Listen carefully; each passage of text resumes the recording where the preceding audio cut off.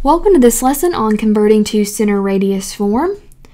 In this lesson, you'll learn how to go from standard form, sometimes it's called long form, back to center radius form, which we have been using to find the center, the radius, and to graph. Okay, so here's an example of standard form. The first thing that you want to do is group your x's and your y's. So I'm going to start with my x's, so x squared plus 8x. And then my y's, y squared minus 2y. And then bring down my constant, my equals, and my zero. And then next I'm going to move the constant to the other side of the equal sign. So I can do that by adding 64 to both sides. So x squared plus 8x plus y squared minus 2y equals positive 64. Next, I'm going to be adding blanks. So I'm going to write x squared plus 8x plus blank plus y squared minus 2y plus blank. And the reason I'm adding blanks is because we're going to do something called completing the square, which you probably learned in Algebra 1. And then because I added two blanks to the left side of my equal sign, I need to keep my equation equal on both sides, so I'm going to add two blanks to the right.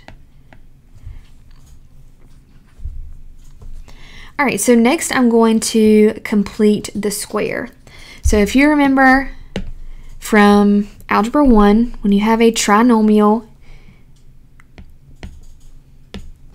ax squared plus bx plus c, you can complete the square and find the c value, which is what we're missing here, by taking half of b and squaring it. So I'm going to take half of 8 and square it. So that would be 4 squared, which is 16. And I'm going to put that here, and I'm going to put it here. Okay, then I'm going to do the same thing with my y trinomial. So it's like we have two trinomials here. We have my x trinomial and then we have my y trinomial. Remember, a trinomial just means three terms. Okay, so let me get rid of all this so it's not super confusing. Okay, so I'm going to take my b term, negative 2, I'm going to half it and square it, which is negative 1 squared, which is 1. And notice I put plus blank every time because when you're squaring, it's always going to be positive. So you'll never have a negative number in those blanks. Okay.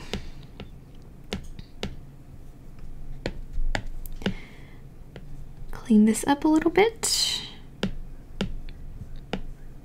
All right, now that we have done that, we have completed the square, now we are going to factor and add. So when I say factor, I mean we are going to factor each trinomial. So I'm going to factor the x trinomial, and I'm going to factor the y trinomial, and then I'm going to add over here. So let's go ahead and add because that's the easiest part. So 64 plus 16 plus 1, that's 81. Now, because these are perfect square trinomials, and we made them that way by completing the square, the two factors should be the same. The two factors should be the same. So we're looking for two numbers that multiply to give me 16, but add to give me 8. All right, and you should have thought of 4. So x plus 4 times x plus 4, if I FOIL that out, if I multiply that out, I would get this trinomial. Okay, so I'm going to do the same thing with my y trinomial. I know it's got to be y and y. Alright, so I'm looking for two numbers that multiply to give me positive 1, but add to give me negative 2. Alright, and you should have thought of negative 1. Now, I can rewrite these two binomials as a binomial squared because it's the same. Same thing here, I can write the y as a binomial squared and then bring down my 81. So that now is in center radius form. Okay, so let's try another example, but let's try to do it in not so many steps because I know all those steps seem daunting, but I wanted to explain how it works But now let's try to do it a little bit quicker. So I'm going to combine 1 and 2 and 3 in the same step. And it's not going to be that bad. I'm going to write my x's and then go ahead and add a blank. Then I'm going to write my y's. And by y's, I mean the terms that have the variable y and add a blank. And I'm going to go ahead and move my constant, which is positive 137, to the other side, which is going to make it negative 137. And add my blanks. So all in one step. X's together, Y's together, add your blanks, move the constant. Not too bad. Okay, now I need to complete the square, so I need to take the b term, half it, divide it by 2, and square it. Alright, so that would be 12 squared, which is 144. Same thing with my y. That would be 3 squared, which is 9. Alright, now we need to factor. Okay, so an easy, quick tip for factoring these. So you can write out every time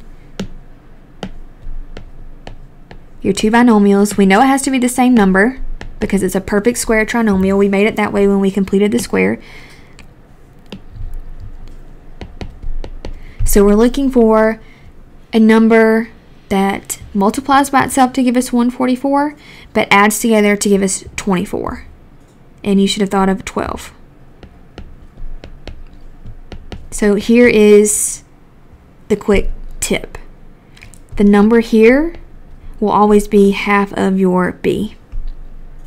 So the number here and here will always be half of your b. Okay, so let's try it over here. So y and y. Half of 6 is positive 3. You do need to look at the sign, so if it was negative 6, it would be negative 3. So let's make sure that works. So 3 times 3 is 9. 3 plus 3 is 6. That works. Let's go ahead and add on the right hand side. So negative 137 plus 144 plus 9, that gives me 16.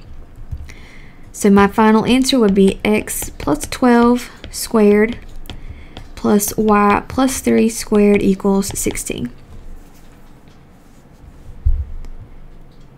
All right, last example. Great, so x's now this one is a little bit different because I don't have a y to the first power term.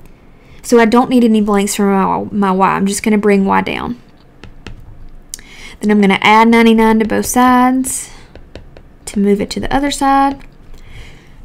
And since I just have one blank on the left, I just need one blank on the right.